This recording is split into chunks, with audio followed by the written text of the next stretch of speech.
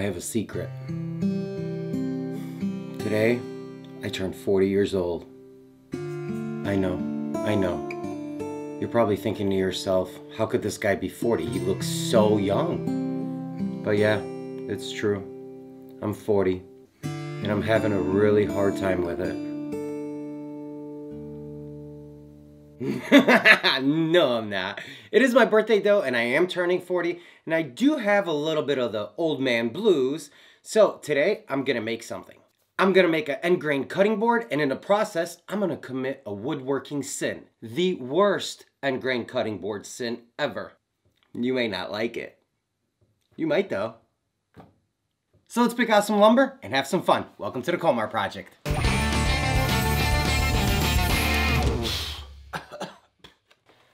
Since I'm old and have a whole family to feed, I don't have a lot of money to spend on materials. So everything that's gonna go into this cutting board is gonna come from this lumber rack or over there.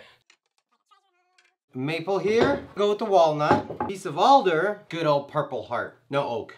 All right, time to uh, start milling some wood. And I'm sure you guys have seen milling done by every woodworker, so let's make it look really cool. Cue the music.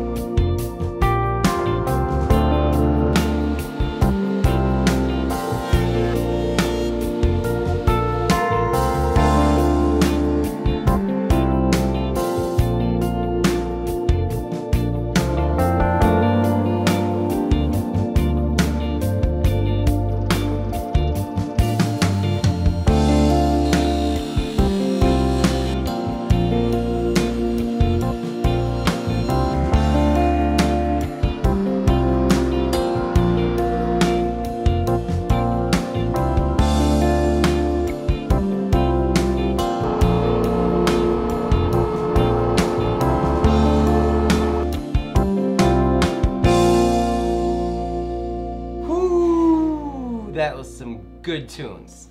The milling wasn't bad either. So we are done. I cut each piece to an inch and a half, and now we're just gonna end up gluing them. And I gotta, guess I gotta figure out a pattern. I, I don't know how to do that, but I figured light, dark, light, dark, kind of contrast it and go from there.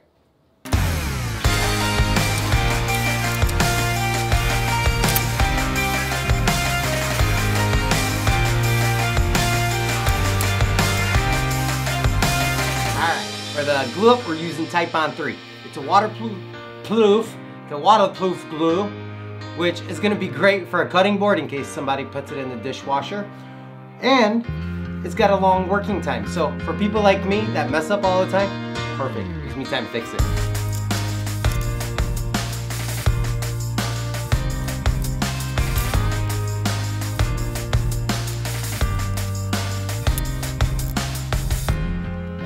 Them as flat as possible, I'm putting these boards down and I just have some gaff tape taped to it so it doesn't stick to the piece of wood. They're called cauls. and if you clamp your workpiece with these cauls, they're gonna help keep it all nice and level. And you wanna do that before you tighten everything down.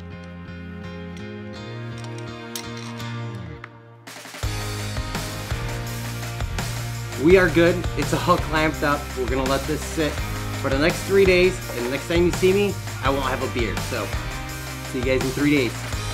You gonna miss me, Thor? Yeah? You're still the smartest dog in the world. And you think I'm off. Okay, cool. It's been three days. I got a new look, I guess. And let's see what's cooking good looking. So everything from the glue up turned out just fine. Everything's right where it's supposed to be. We have some glue lines here that I'm gonna clean off with a chisel, get it ready for the planer, and then we're gonna cut it back up. So I'm using 3 quarter inch plywood as a sled and I'm going to hot glue my cutting board onto it, thus giving it a flat reference when it goes through the planer. Then I can flip my cutting board over, run it on the plain side, thus giving me two parallel references. Now that we have a flat and parallel board, we need to cut it into strips. Those strips are gonna determine the thickness of my board.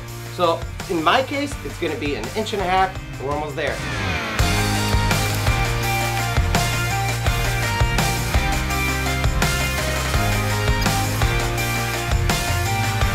So now that your pieces are all cut, you're gonna wanna use glue again, maybe Titebond 3 if you prefer. I like it, waterproof. And you're gonna apply liberal amounts of Titebond. I got some glue. And then just glue them together in any pattern you want. Then tighten them. Cutting board, cutting board. Well, let's see what we got going on. I'm about to do something crazy. What are you gonna do, Bart? I am going to run my end grain cutting board through the planer. No! but honestly, this running a end grain cutting board through the planer debate is probably one of the biggest ones in reference to cutting boards in the woodworking community. Me, on the other hand, I honestly just don't care, whichever side you take. But if you are gonna do this, make sure you try to be as safe as possible be, because things can happen. Me, I'm gonna try to be as safe as possible, putting in the front and the back to the cutting board, maybe even the sides, just to make sure that that end grain doesn't explode. You won't explode, will you? Because I love you. Let's see if it explodes. Now that I have my sled done and the board all secured, time for the PPE.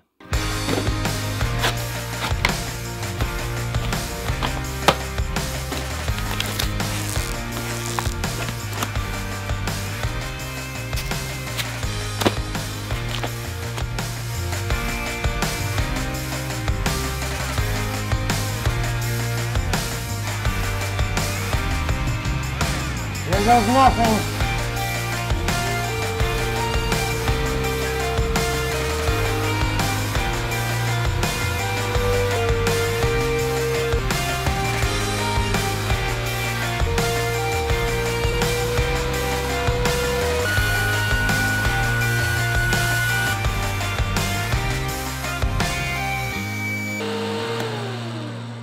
And this is what you get when you plane through a planer.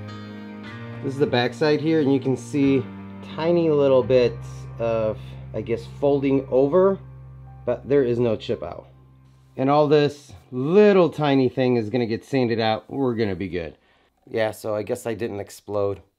Oh well, now we're just gonna flip the board over and we're gonna plane the other side, making two parallel sides.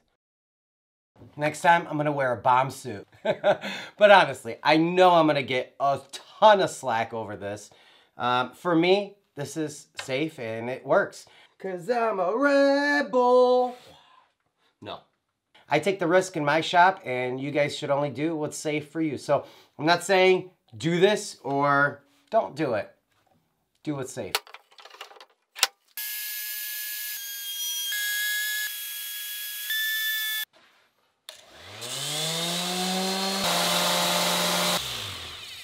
You know what? I gotta figure out how to make this thing sand by itself, because I don't have time for this. Sandorium. Sandorium? Sandurium. Oh, just bloody sand.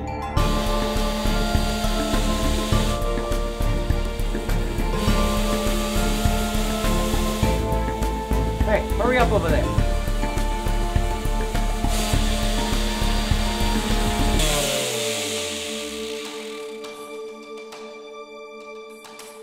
And that is how it's done. I'm never ever making finger holds again. Ever.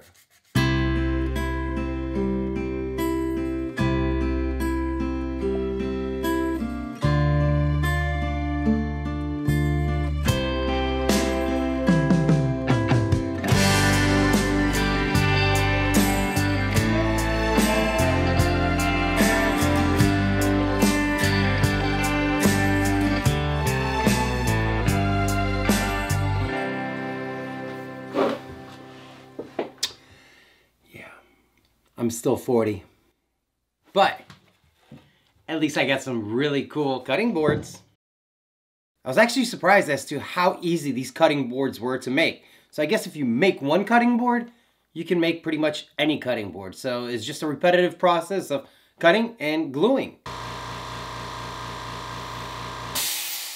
Ah. So if you like this video and want to see more like it, go ahead and let me know in the comments section below. And as always, if you're new to the channel, consider subscribing, hitting that bell notification so you guys don't miss upcoming builds. And if you want to see the behind the scenes stuff of cutting boards like this, plus many other projects, go ahead and give me a follow on Instagram. I'm very active there and you get to see all the shenanigans and all the issues I get into. Thank you so much for joining me on this experience. I had a blast making these cutting boards. They're going to serve us very well. I'll see you guys next time.